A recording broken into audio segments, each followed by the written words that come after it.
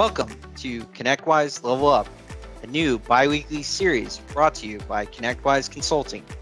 Each video will highlight a key feature of one of our products to help you learn more and level up your use of the ConnectWise suite of products. Today's topic is time entry and review. This feature function applies to the ConnectWise Manage product. The key concepts behind time entry and review include accuracy, accountability, and maximization. Often, companies do not know how busy their employees truly are, and the decision to hire a new employee to cover the existing workload is not clear. With accurate time entry, we can measure employee utilization and make sure that we are getting the most out of each employee. Employees reviewing their timesheets daily and submitting weekly timesheets will increase accuracy in time tracking, create a culture of accountability. There are many ways to add time to a service ticket, project ticket, or activity. One of the simplest ways is to click on the time clock icon on the top of a ticket. When entering time on a service ticket, project ticket, or activity, the employee should verify or select the proper work role, agreement, start and end times, work type, and notes. Once time has been entered, an employee or time approver can navigate to the time entry screen module and review the work role, work type, agreement, hours, and notes for accuracy during a given time period. At the end of the time period, an employee should review their timesheet for any missing entries each day and make adjustments for billable and non billable time.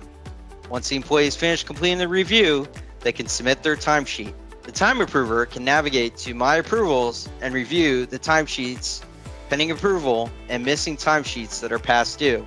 Once the time approver clicks on the timesheets in the pending approval status, they can select the timesheet to review, approve, or reject. Not only will accurate time entry lead to more accurate invoicing and less invoice disputes, but it will allow you to review some of the key reports inside of ConnectWise Manage. Some of the valuable reports that can be reviewed when time is entered accurately are employee utilization to see if you're getting the most out of each employee, agreement gross profit to check on the profitability of each agreement, and project job cost details to check on the profitability of each project.